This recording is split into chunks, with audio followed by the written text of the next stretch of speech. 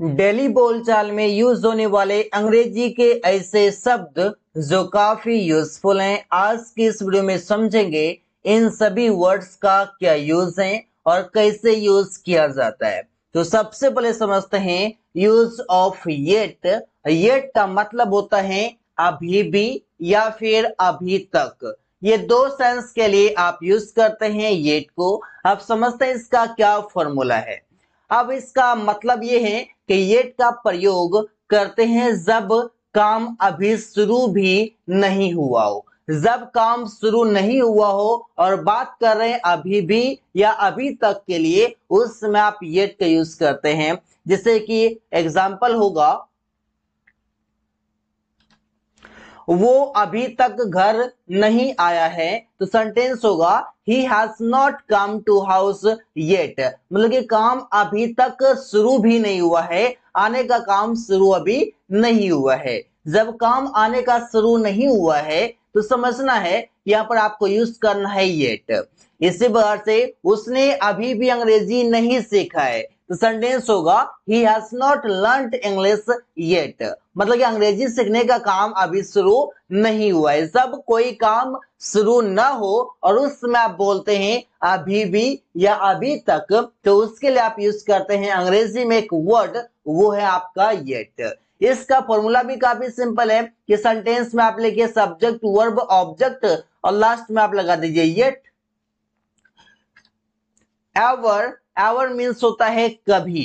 कभी के लिए हम यूज़ करते हैं एवर इसका फॉर्मूला हो जाएगा, जैसे कि आप लगाएँगे हैव फिर आपका यू एवर वर्ब का थर्ड फॉर्म ऑब्जेक्ट और लास्ट में आप लगाएँगे क्वेश्चन मार्क जैसे कि, क्या तुम कभी उसे देखे हो? तो सर ने सुनाते हैं have you ever seen him क्या तुम उसे कभी देखे हो? Have you ever seen him इस पर से बोल देते हैं। क्या तुम कभी ताजमहल देखे हो? Have you ever seen the Taj Mahal तो ऐसे हम सेंटेंसेस डेली लाइफ में बोलते हैं, कभी के लिए हम यूज़ करते हैं एवर कि क्या तुम वहाँ कभी गए हो? क्या तुम कभी पिज्जा खाए हो? क्या तुम कभी बाज़ार गए हो? क्या तुम कभी उससे मिले हो? क्या तुम कभी अंग्रेज़ी बोले हो? ऐसे हम कई सारे सेंटेंसेस यूज़ करते हैं। वहाँ पर हम आसानी से यूज़ कर सकते हैं एवर को कभी के लिए।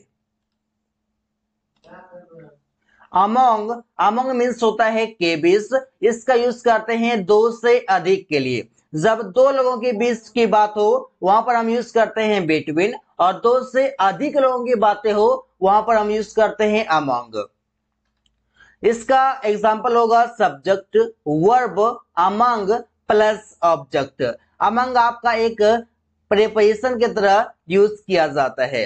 एग्ज़ाम्पल होगा, हम लोग भीड़ में खड़े थे। अब भीड़ में खड़े थे या भीड़ के बीच में खड़े थे तो वहाँ पर दो से अधिक लोगों की बात है। तो भीड़ में हम खड़े हैं तो भीड़ में तो बहुत सारे लोग होते हैं तो वहाँ पर हम अमंग का यूज़ करेंगे, जैसे कि we were standing among the crowd मैं, अमन, सुमन और आकाश के बीच में था। तो सेंटेंस होगा I was among Aman, Suman and Akash. इन सभी के इन इस जगह पर हम यूज़ कर सकते हैं अमंग के बीच के सेंस के लिए, जहाँ पर दो से अधिक की बातें हो, दो से अधिक चीज़ें हो सकता है, दो से अधिक पीपल हो सकता है, ये ध्यान में रखना है।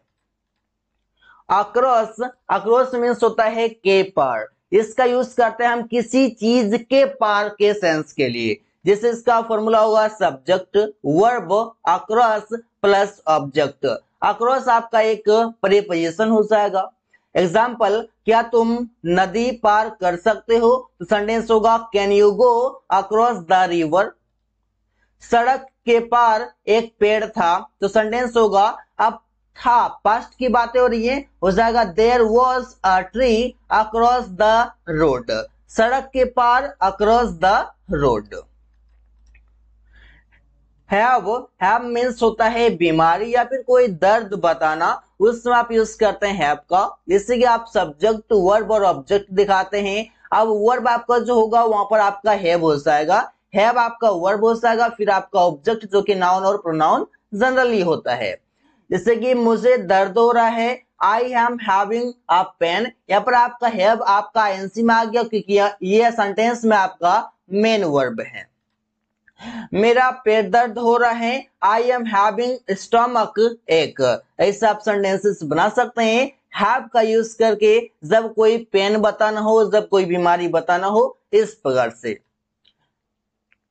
बींग मीन्स होता है के नाते होने के नाते या होने के बावजूद। तीनों सेंस के लिए आप यूज़ कर सकते हैं बींग को। इस, इसका फॉर्मूला हो जाएगा कि सेंटेंस में सबसे पहले आपको बींग उसके बाद आपको लगाना है कोई ऑब्जेक्ट फिर आपको लगाना एक कॉमा फिर आपको एक सेंटेंस जिसमें के सब्जेक्ट वर्ब और ऑब्जेक्ट होगा।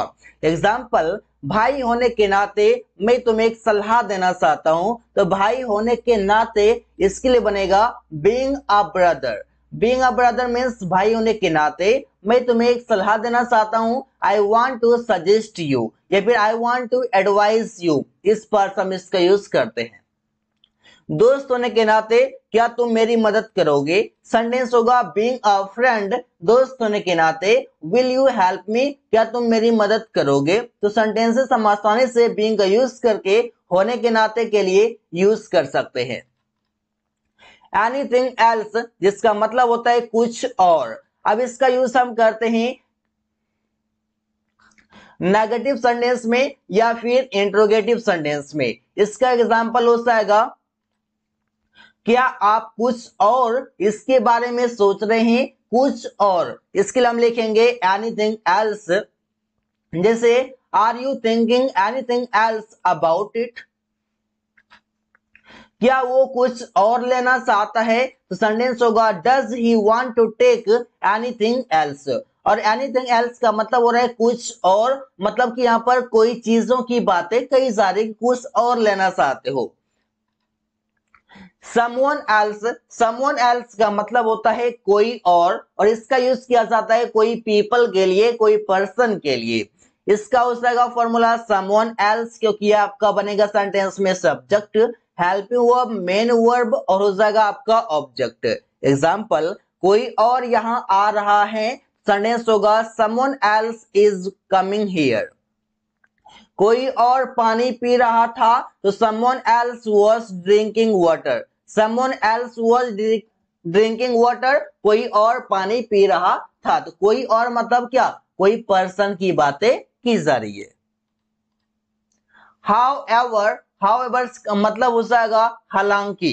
हालाँकि के सेंस के लिए हम यूज़ करते हैं हाउ एवर का। इसका हो जाएगा subject helping verb other word however इसके बाद आपको लगाना है कॉमा फिर आपको एक सेंटेंस लिखना है। एग्ज़ाम्पल वो बीमार था, हालाँकि वो काम करने गया। तो सेंटेंस आपका बनेगा ही वॉज़ इल वो बीमार था हाउ एवर हालाँकि ही वेंट टू वर्क वो काम करने गया। मैं थका हुआ था, हालाँकि मैं सो नहीं पाया। तो सेंटेंस आपका होगा, मैं थका हुआ था आई वॉज़ टायर्ड हालाँकि हाउ एवर मैं सो नहीं पाया आई कुडंट स्लीप ऐसा आप यूज़ कर सकते हैं हाउ एवर का गेट गेट मीन्स होता है कोई काम करवा देना, किसी थर्ड पर्सन से कोई काम करवा देना। इसका फॉर्मूला होगा subject helping of get object इसके बाद आपको लगाना है वर्ब का थर्ड फॉर्म गेट के बाद आपका आएगा कोई ऑब्जेक्ट फिर आपका आएगा वर्ब का थर्ड फॉर्म जैसे कि राहुल ने यह सड़क बनवाया, कोई काम करवाया तो सेंटेंस होगा। Rahul, got this road built. ये बिल्ट आपका वर्ब का थर्ड फॉर्म है और दिस रोड आपका ऑब्जेक्ट है, गेट आपका वर्ब है तो ये आपके टेंस के अनुसार बदल जाएँगे। मैं तुम्हें पिटवा दूँगा। I will get you beaten I will get you beaten मैं तुम्हें पिटवा दूँगा। ऐसा आप यूज़ कर सकते हैं गेट का कोई काम किसी से करवा देने के सेंस के लिए। हाउ फार हाउ फार का मतलब होता है कितना दूर। हम यहाँ पर डिस्टेंस की बातें करते हैं, कितना दूर। जिससे कि हो जाएगा how far helping verb subject main verb object और क्वेश्चन मार्क एग्ज़ाम्पल आपका घर यहाँ से कितना दूर है? तो कितना दूर के लिए आप लिखेंगे हाउ फार इससे how far is your home from here how far is your home from here आपका घर यहाँ से कितना दूर है? हम लोगों को कितना दूर जाना पड़ेगा? तो सेंटेंस होगा how far will we have to go how far कितना दूर will we have to go हम लोगों को जाना पड़ेगा। हाउ लॉन्ग हाउ लॉन्ग का मतलब होता है कब से? और इसका यूज़ किया जाता है टाइम के लिए।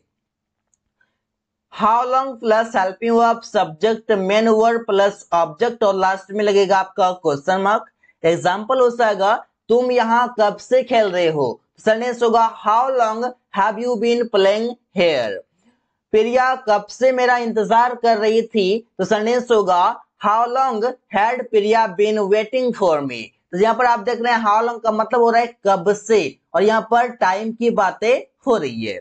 इसी प्रकार से आगे है आपका ओवर अगेन जिसका मतलब होता है एक बार फिर से। एक बार फिर से के लिए आप यूज़ करते हैं ओवर अगेन जिससे कि आपका होगा सब्जेक्ट वर्ब और होगा आपका ओवर अगेन जैसे कि एक बार फिर से मैं वहाँ जाना चाहता हूँ. तो I want to go there over again एक बार फिर से वो अंग्रेज़ी सीख रहा है.